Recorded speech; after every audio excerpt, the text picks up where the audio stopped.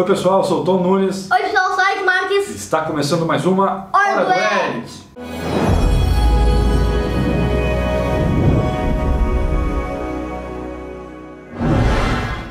E aí pessoal, vocês já ouviram falar em carranca? Calma aí, né pessoal? É uma, é uma careta, é assim, mas também é bem feio, né? Verdade, é bem feio. E algumas pessoas usam como amuleto de proteção Sim. e colocam até na frente da porta. Aquelas estátuas maiores, É né? bem grandonas assim que eles colocam na porta. Geralmente são feitos de madeira, representando ali uma mistura entre o animal e o humano. É. Uma coisa bem maluca, né? Bem maluca. Se você não conhece, então a gente vai falar sobre esse assunto hoje, né? Sim, que você não sabe o que é, você vai saber hoje. Mas antes, não esquece. Se não é inscrito, se inscreva no nosso canal. Se inscreve na hora do Eric. E também, né, gente? Não se inscreve, não se esquece, né? Compartilha! Isso mesmo. Compartilha com seus amigos, com seus amigos, até com um grupo de amigos. Isso mesmo. Então agora que você já deixou aquele like, já compartilhou, já se inscreveu, Vamos pro vídeo! vídeo! A carranca está relacionada às esculturas que eles usavam nas embarcações que viajavam pelo rio São Francisco. Inicialmente, as carrancas eram utilizadas nas proas dos navios, pois os navegadores eles acreditavam que aquela figura feia afastava os maus espíritos e também protegia a tripulação de monstros dos rios. Essas figuras elas são antropomórficas. Ou seja, uma mistura dos elementos físicos do ser humano e do animal. Existe uma certa divergência entre os pesquisadores sobre a origem da carranca.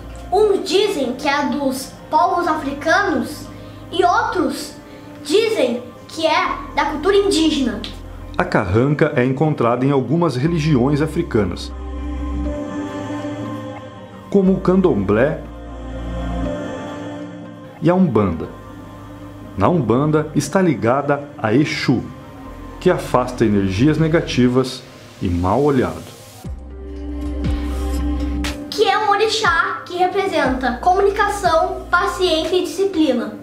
Exatamente, e também existem as ranias, Sim, as que são as máscaras de carranca utilizadas no teatro japonês, conhecido Sim. como No. Também essa rania ficou muito popular pelas tatuagens. Os tatuadores tatuam muito essa rania. Verdade, as pessoas usam muito isso como tatuagem, esse É. símbolo, né? É uma figura dotada de dentes ameaçadores, boca grande e chifres. Existe um conceito de inferno do budismo japonês que as ranias são representações dos sentimentos confusos do ser humano. Assim como ciúme, ódio, esses sentimentos todos que transformam homens e mulheres em verdadeiros monstros. Existe também os Onis, que são criaturas que são tipo demônios ou ogros e são muito populares na literatura japonesa. Exatamente. Também existe, só para complementar, Sim. existe um outro tipo de máscara também que se chama mempo. Hum, É como se fosse uma armadura facial. Né? Lá do tempo feudal, os samurais usavam essa máscara pra, tanto para proteger quanto também para afugentar ou amedrontar o seu inimigo. Olha que interessante, né? bem interessante. Então, pessoal, o vídeo vai ficando por aqui. A gente espera que vocês tenham gostado e acompanhado com muita alegria o nosso vídeo. Sim, vídeo foi muito interessante. Muito legal, né? Muita informação Sim. legal. Eu conheci muitos monstros que eu não conhecia, muitas cu- curiosidades também. É que é todo esse simbolismo de máscara e tal. O Japão ele tem muito simbolismo também, né? Sim, o Japão, o Japão e o budismo. Verdade. Existem muitos símbolos que a gente vai trazer ainda no É. canal, falar sobre isso.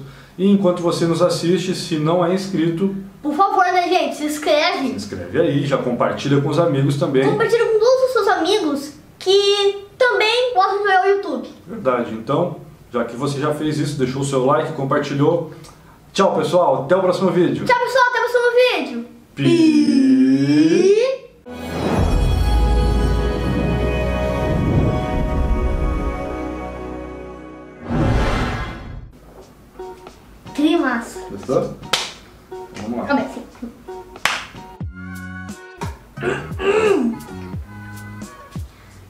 Ai, navegava pelo Rio São Francisco. Ela afugentava, ela espantava. Inicialmente, As carrancas eram usadas.